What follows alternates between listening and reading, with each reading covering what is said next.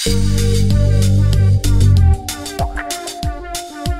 in this tutorial, I'm going to walk you through how to uh, do a find and replace across multiple files. And uh, you can do it through multiple files within the same directory, or if you want to do across the, all of the subdirectories um, and sub-subdirectories and so forth, uh, uh, you'll be able to as well. So basically what you would need is you would need first Notepad++, uh, which is completely free.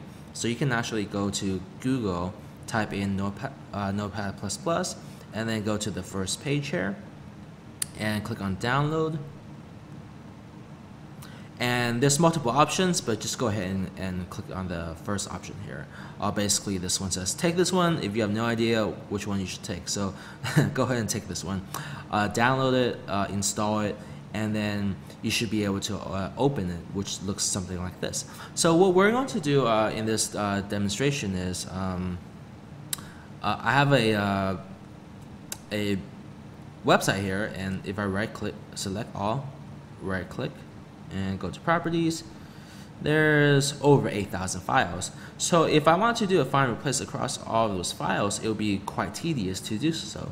Um, and if it happens to be in every single file uh, it also in addition to being tedious it'd be insane. Um, so what I'll do is I'm going to open the um, right click edit with notepad++ and then scroll down um, and I'm going to maybe change the copyright uh, across all of the different uh, pages on this HTML website. So scroll down. Okay, here we go.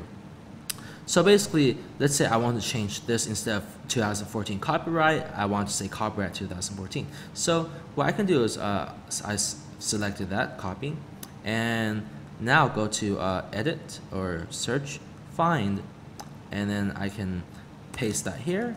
And then uh, and then what I want to do since I want to just swap that around is I can then cut this. And here we go. So now I want what this basically does is it will find this in this document and replace it with this in this document.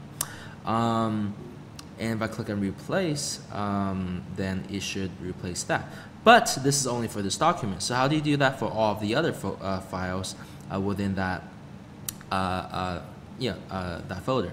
So the way you would do is go to find in files, and then now, um, basically I have the find field and the replace with field. So for filters, just put, um, you can leave it alone or put um, dot asterisk, and basically that says that that doesn't matter what the file name is and doesn't matter what the file extension is. Now, if you want to restrict it to only HTML files, then you would do that. Or likewise, with text files, you would do that. Uh, I'm just going to leave that alone.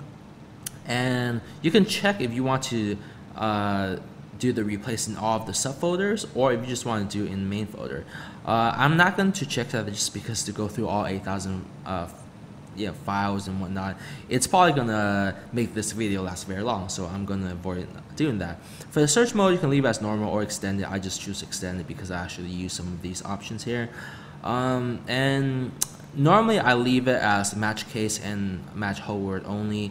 Um, just, um, I mean, it really doesn't matter for most cases, but that's the options that I have set. So now what you want to do with the directory is go to the directory you want to do the massive find in place with, right click, copy, and paste, which is the same directory so uh, that I had before. So now if I do a replace in files, it should go through all the files there. And, and just to make sure that it actually does work, if I go to, let's say, um, the our services page right now, and I scroll down, see how right now it says 2014 copyright. So if this works, which you know, it will, uh, then it'll replace that once I open that file again. So go ahead and click on replace in files. Okay. And now, uh, basically, it's done already. Replace files, 26 occurrences replaced. Great. So now I can, uh, if I go back to that file and open it, and I scroll all the way down, Yep, copyright 2014.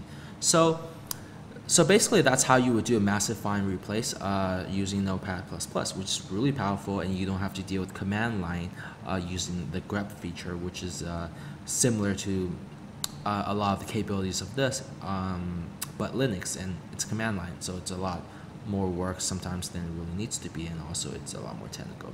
But anyways, so hopefully you found this uh, video helpful, and if you have, um, make sure you uh, like this video, subscribe to my YouTube ch uh, channel, and go to my site yanhuang.me.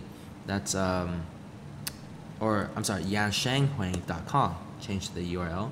And on my website, uh, I always have really uh, interesting, cool posts that ranges anywhere from business to creative to just cool stuff that I think um, um, you know most people would be interested in.